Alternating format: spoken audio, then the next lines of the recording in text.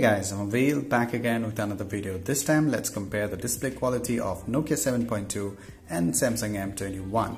Yes, on paper Samsung M21 with Super AMOLED display is better, right? But we'll see.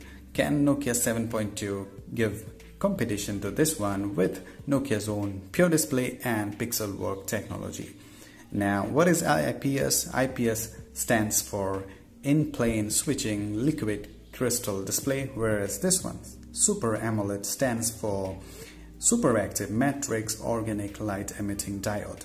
Okay in layman's term I can tell you that IPS can produce sharper images okay closer to natural colors and this one super AMOLED can produce true dark and deeper colors over saturated colors. Now let's play one video and we'll see the difference. Now let me show you this here the color calibration is set as vivid okay?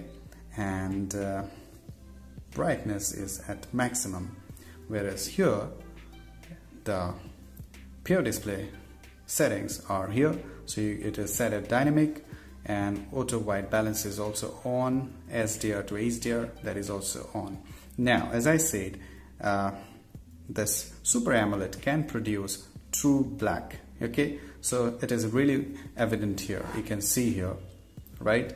Here it is true deeper I can say really dark. Here it is. Here you can see that. It is also black but it is looking a bit you know gray kind of or whitish. Okay? White you know layer is there. But here it is totally dark black. Okay? On this Samsung M21 now let's do one thing. What I'm going to do I'm going to play one video okay? So let's start by playing one video using a video player. What I'm going to do after this I'll be playing one video on YouTube as well. So one two three okay? Now let's see how significant is the difference okay? This is the Nokia 7.2 and this one is the Samsung M21 so here you can see that um, you know honestly apparently they look really similar though Nokia 7.2 is having IPS display and this one is having you know Super AMOLED display. Okay you can see that uh, the colors they look a bit more oversaturated on this Samsung M21 whereas sharpness is better on this one. Okay let me show you by switching the place here. Okay if that is making any difference yes yeah you let me know the difference. Okay the True dark can be watched or can be experienced on Samsung M21. There is, you know, that is really better on this Samsung M21 compared to 7.2. But yes, colors, they look more natural on Nokia 7.2 with IPS LCD display. Here again, you can see that, yes. Here, right? Yes, Nokia 7.2 is looking a bit sharper according to me. You let me know your opinion in the comments. Now let's do one thing.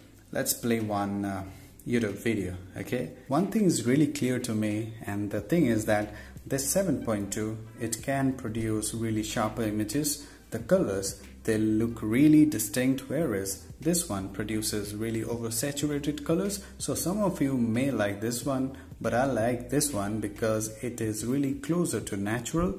But yes deeper colors true dark you can see on this one Samsung M21 so this is your preference. Yeah you have to decide. Now let's play this video and we'll see the difference again. One two three. Yeah and you let me know which one is doing better according to me. Let's stretch the video on both of the de devices and we'll see the result. Here now as I said the darker or the deeper colors true dark better on Samsung M21 there is no doubt about it. Yeah? Let me switch the place again so that we'll see the exact we can make the exact observation.